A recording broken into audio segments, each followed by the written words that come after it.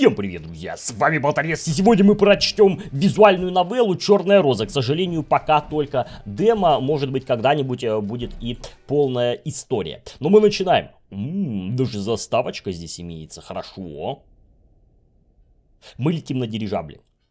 Наверное, в поисках той самой черной розы. Запахи вин пьянили, а блюд вызывали покалывание в желудке. Каждый из присутствующих приложил немало усилий, чтобы попасть сегодня вечером на императорский дирижабль.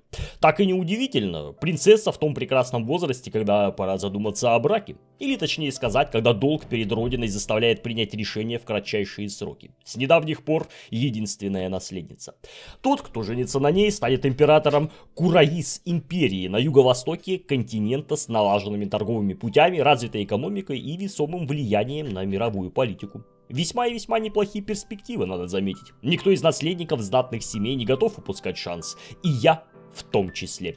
Императорская семья, она же Черная Роза, правит Кураисом с тех самых давних времен, когда мистические существа Анафимы, а может быть Анафимы, подарили людям магию. Устройство в обществе Кураис имеет четкую иерархию. Маги, представители знати, не маги, люди из среднего и низшего слоев, коим проще перевернуть мир, чем открыть дверь высшего общества. Однако не сказал бы, что жизнь мага сказочно привлекательна. Здесь, среди семейств Россы, идет постоянная борьба за власть и нескончаемая конкуренция за расположение к императорской семье. А если еще не забывать о нелюбви к темным магам, так того гляди, местечко под названием Высшее общество можно сравнить с коробкой наполненной пауками. Голодными пауками, пожирающими друг друга. О чем так задумался, друг мой, Зион? Я отставил пустой бокал и повернулся. Марай, а мне казалось, ты вышла на балкон подышать свежим воздухом.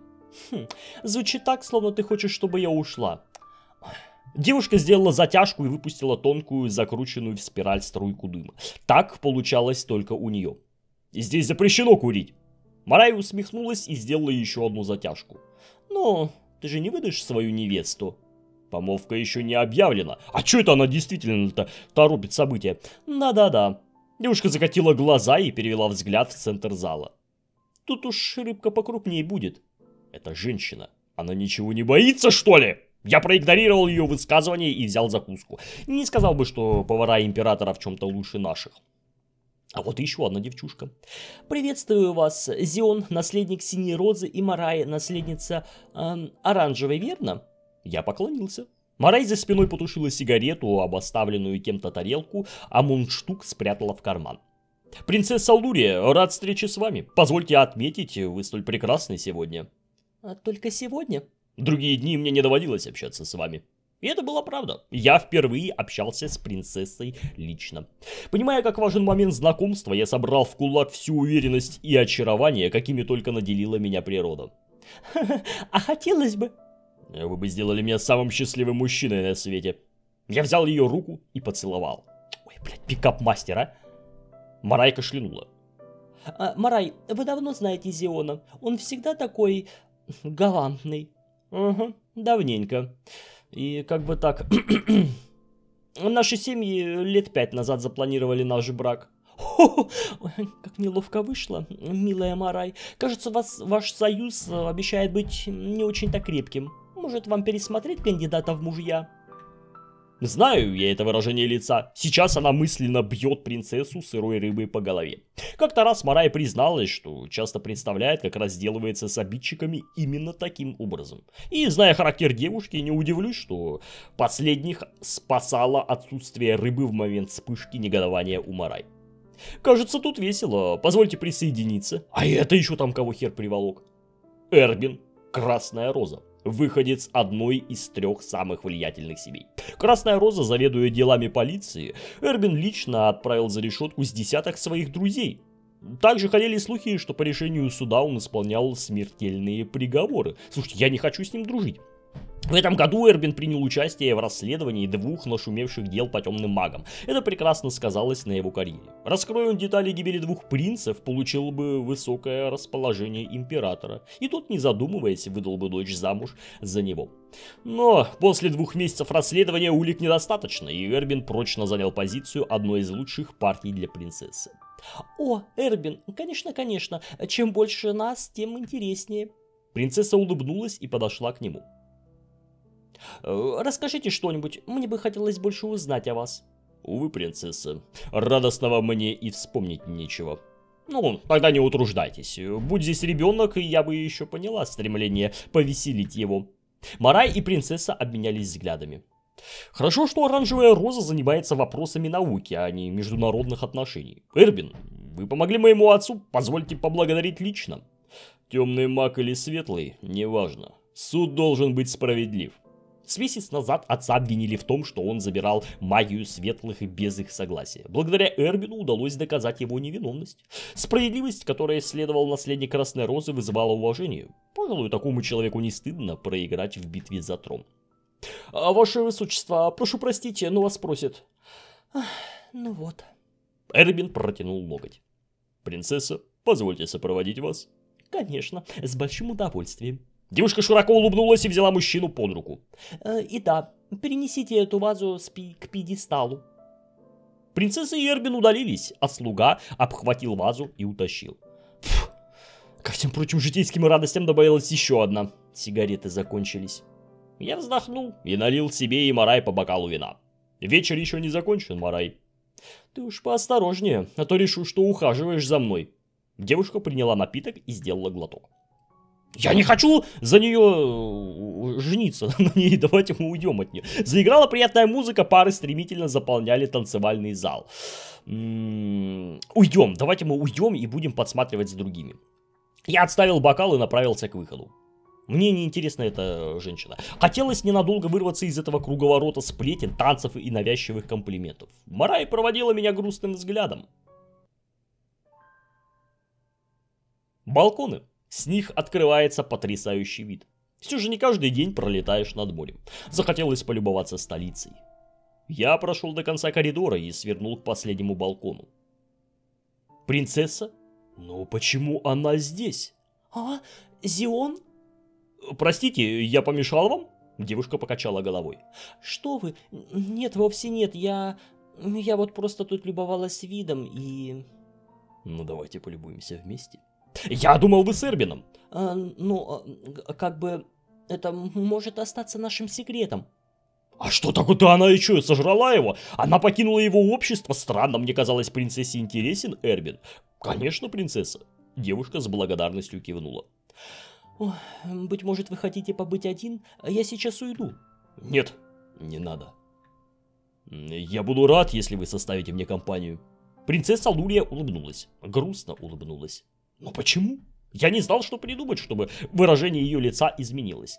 А, знаете, более подходящего в голову не пришло, как рассказать случай из жизни. Однажды в детстве мне так захотелось попасть на дирижабль, что я притворился мешком с картошкой. Девушка смеялась и не могла успокоиться. И подумать не мог, что принцесса так смеется. Вот это да. И как это вы притворялись? Ходили в мешке? Угу. Принцесса Лурия снова засмеялась. И что, план удался? Я скрестил руки на груди и театрально произнес. Я был близок, очень близок. Мы взглянули друг на друга и рассмеялись. Благо, теперь вам мешок не нужен. Это точно. Мы немного помолчали. И красиво здесь. Можно смотреть вечно. Думал, что принцессе подобные виды наскучили. Принцесса, вы возвращаетесь в зал? Да, я приду позже. Ступайте без меня. Она не хочет, чтобы пошли слухи? Вместе вернулись, были наедине, а до этого было с Эрбином. Я безразлично относился к дворцовым интригам, но принцесса Лурия могла иметь другой взгляд на них. Я понимающе кивнул и ушел. В зале я встретился с подругой. Марай кивнула на двух спорящих женщин. А вот и традиционная часть на всех светских мероприятиях. Одна женщина из зеленой розы, темные маги, другая из желтой розы, светлые маги. Я направился к дамам, Марай тяжело выдохнула. По обрывкам разговора я понял, что спор завязался после случайности. Женщина из семьи темных магов по неосторожности вылила вино на платье представительницы желтой розы. Казалось бы, мелочь, разрешить которую можно за пару минут, но слово за столо хуем по столу и женщины раскрутили оживленный спор. Дорогие дамы, не позволяйте этой мелочи испортить вечер. Угу, темник пожаловал. Замять хотите? Нет, я... Пф, паразиты. Сколько же подобных выражений я за жизнь дослушался. Паразиты, неполноценные, проклятые. Темные маги разительно отличались от светлых, в то время как светлые могли накапливать энергию и использовать как оружие. Темные магический ресурс не вырабатывали. Не способны использовать только то количество... Мы способны использовать только то количество магии, что забрали у светлых. И чего же с паразитами общаетесь? Я требую извинений! И они вступили в словесную перепалку. Мои попытки оказались тщетными. Все больше людей оглядывались на нас, вот только на императорском вечере такого не хватало. «Да, вы просто две дуры!» Женщины замолчали и изумленно уставились на Марай. Ну вот, они напросились. «А? Че ты сказала?» Ой, «Ладно, повторю. Дуры вы, обе! Темный, светлый. Тоже мне игра теней. Ни у одной не хватило ни ума, ни гордости прекратить спор. Обе дамы фыркнули, стрельнули на Марай презрительными взглядами и разошлись в разные стороны. Вот и все, ты посмотри, женщина наша разрулила. Гляди, как быстро буря-то улеглась. Теперь у них появился общий враг. Марай улыбнулась. Можно подумать, оранжевую розу кто-то воспринимает всерьез. Ха, ты гляди, они даже разговаривать не стали с кем-то вроде меня. Марай протяжно выдохнула. В ее сарказме проскочили нотки и раздражения, и грусти. Десять лет назад оранжевая роза разорилась на научных проектах и с тех пор еле-еле сводит концы с концами. Влияние, семьи, влияние семья потеряла, финансирование тоже. Сегодня инвесторы заинтересованы больше в армии, чем в научных исследованиях от Самарай. Я слышал, что глава оранжевой розы неустанно ищет способы вернуть былое положение семьи и ударился в политику. И хотя с отцом Марай мне не удавалось найти общий язык, я уважал его за силу и стойкость, которую проявлял этот мужчина ради семьи. В зале воцарилась тишина. Вошел император. Ля какой, а! Люди расступились и с нетерпением ждали его речи. Принцесса все еще не пришла? Дорогие гости, я рад, что вы сегодня здесь. Семейство Рос делают все для процветания и роста империи Кураис и параллельно играют в вышибалу. Выбей конкурента и займи его место. Что? Меня все равно никто не слышит, кроме тебя. Гибель принцев потрясла нас всех. Я потерял сыновей, а империя наследников. Но нужно двигаться дальше. И первые новости, которые я хотел сообщить, связаны с принцессой Лурией. Сейчас ее как раз должны привез... Что такое? Пол заходил ходуном, я едва устоял на ногах. Зеон! «Я в порядке, как ты?» «Все хорошо». Крики заполнили зал, люди толкали друг друга и бежали к выходам. «Император мертв! Императора убили!» Эрбин спешно организовал охрану. Людей разбивали на группы и сопровождали к спасательным дирижаблям. Начался пожар, зал заполнился едким дымом. Я схватил Марай за руку и проскочил в ближайший выход. Кто напал? Кто посмел? Какая тварь? Новый взрыв произошел в хвосте дирижабля. Группа людей с криками бежали на нас. Я прижал Марай к стене, чтобы нас не снесли. В животе противно скрутился желудок. Мы теряли высоту. Двигатели повредили. Дирижабль падает. Я отпустил девушку и двинулся в сторону взрыва. Ты куда? Нужно проверить, там могут быть пострадавшие. А если... если еще раз бабахнет, как прикажешь тебя по кускам собирать? Эй, Зион! Небеса, ты сведешь меня с ума! Блять, сколько мертвых тел! Принцесса! Взрыв разрушил стену и пол дирижабля. Повезло, что принцесса оказалась в другой стороне от дыры. Я наклонился проверить пульс и дыхание. Жива. Проверь того мужчину. Марай наклонилась к незнакомцу. Не дышит. Я закинул руку принцессы себе за шею.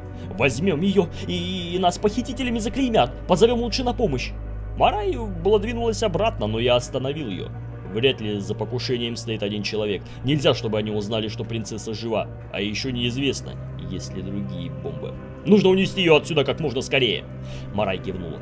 Тогда, раз к общим спасательным дирижаблям идти рискованно, в багажном отсеке должен быть еще один. Я и позабыл, что воздушное судно строилось по проекту Оранжевой Розы. Послышался топот ног.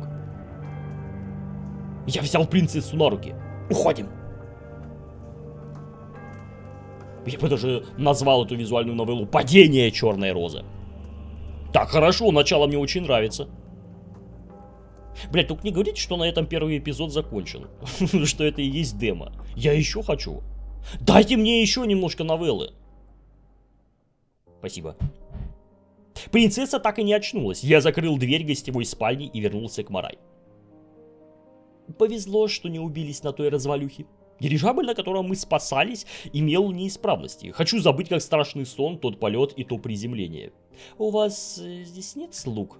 Распустили месяц назад. Это после похорон? Наши взгляды встретились. Мне не хотелось вспоминать. Все еще было больно. Очень. Ой, Зион. Марай протянула ко мне руку. Я шагнул назад. Марай, нужно понять, что делать дальше. Вернуть ее в замок, разве не очевидно? Там может быть опасно. Неизвестно, кто предатель, а кто союзник. Лучше оставить принцессу здесь. Девушка прошлась по гостиной туда и обратно. Хм, два месяца назад подорвали карету принцев, теперь императорский дирижабль. Не нравится мне это. И больше всего не нравится, что ты ввязался. Поругаешь меня потом. Я направился к двери. Ты куда? Принцессе нужен врач. Я скоро. Придется будить его среди ночи. Колющая боль пронзила голову. Все чаще и больнее. Я глубоко вздохнул. Что это со мной? Сиди смирно, не вырывайся. Я ускорил шаг. Что там, блядь, какой-то демон внутри нас, что ли, обитает? Через час я вернулся с Ридером. Где он? Покажите нам его. Это что, блядь, мой брат? Эм, ночи доброй, Марай. Сложно назвать ее доброй. Пациентки умер, значит добрая. Зион объяснил, что произошло. Э, как ваше самочувствие? Не жалуюсь. Где вторая пациентка? По коридору направо, первая дверь. Врач кивнул и покинул гостиную. Мне стоило догадаться, что ты позовешь его. Иногда даже страшно от того, как много ты обо мне знаешь. Марая лишь покачала головой. Много ли? Ридер не был официально назначен врачом Синей Розы, но судьба свела меня с этим человеком, и я пользовался его услугами уже три года. Ридер отлично умел две вещи – молчать и лечить. Правда, обходились его услуги недешево. Ну что же, за качество нужно платить. И где тут кухня? В конце коридора, не пропустишь. Угу, спасибо. Я вздохнул, глядя ей вслед. Ридер потер глаза. С тобой у меня сверхурочные стали нормой. Видишь, какая стабильность? Ридер цокнул языком. Как она? Не о чем беспокоиться. Правая рука не сломана, но сильный ушиб и неглубокий порез. Пару дней не сможет ей пользоваться. Сейчас принцесса крепко спит, и это лучшее лекарство. Зайду на днях проверить ее состояние. Спасибо. Ридер, как хорошо, что ты еще тут. Можешь отправить телеграмму. Кажется, у меня нет выбора. Ридер забрал листок у Марай. В мои планы еще входил сон, так что я ухожу вышлю тебе мешок кофе. Лучше бы мешок денег. Я заварила успокаивающий чай. Не хочешь? Ну, во-первых, я не особо люблю чай. Вот если бы она мне предложила кофе, я бы, блядь, не раздумывая, как бы и пахнул. А вот... Что-то мне подсказывает, ребята, какая-то она подозрительная, эта самая Марай. Может быть, она что-нибудь подмешала нам в чай? Давайте мы на всякий случай откажемся. Спасибо, Марай, но я не хочу. Девушка пожала плечами. Поверь, проверю, как там принцесса. А это сказал Зион. Проверю, как там принцесса. Принцесса мирно спала. Мелкие ссадины на ладонях обработаны, правая рука перевязана. Надеюсь, она не забеспокоится, когда проснется. Побыть еще немного и уйти. Давайте, давайте немножко побудем. Может быть, наша вот эта вот синяя аура придаст ей сил. А может, она проснется и что-нибудь нам скажет. Я сел на кровать. Хорошо, что принцесса цела. Черная роза должна удержаться у власти. Они правили тысячу лет, пусть правят еще тысячу. Страшно представить, какая может развернуться борьба за звание императорской семьи. Как долго семьи грезят о троне, сколько поколений мечтали о такой возможности. И вот замаячил шанс. Кто бы ни стоял за покушениями и убийствами членов Черной Розы, он бесстрашен и самоуверен одновременно. Принцесса дернулась и простонала. Кошмар снится. Девушка задрожала. Я аккуратно опустил руку на ее ладонь. Принцесса глубоко выдохнула. Дрожь прекратилась. Мне бы стоило уйти, но я не мог оставить принцессу. Не мог или не хотел. Так, держа ее за руку, я просидел еще несколько минут. Потом достал самое лучшее платье, которое было в шкафу, и положил у кровати. Не императорское одеяние, но все же лучше, чем совсем ничего. Спите спокойно, принцесса. Огни в камине убаюкивали. Усталость, скопившаяся за день, не позволяла даже мыслить. Кто стоит за инцидентом? Что может ждать империю Кураис? Не могу думать. Я вытянулся на диване и закрыл глаза. Может, нам даже что-нибудь хорошее приснится. Но не в этот раз. Вот такая вот коротенькая демка, ребят, оказалась. Я надеюсь, что выйдет э, когда-нибудь полная, полноценная новелла, потому что меня зацепила эта история. Я хочу узнать, что за негодяй это все устроил. Подписывайтесь на канал, комментируйте, ставьте лайки. Всем пока.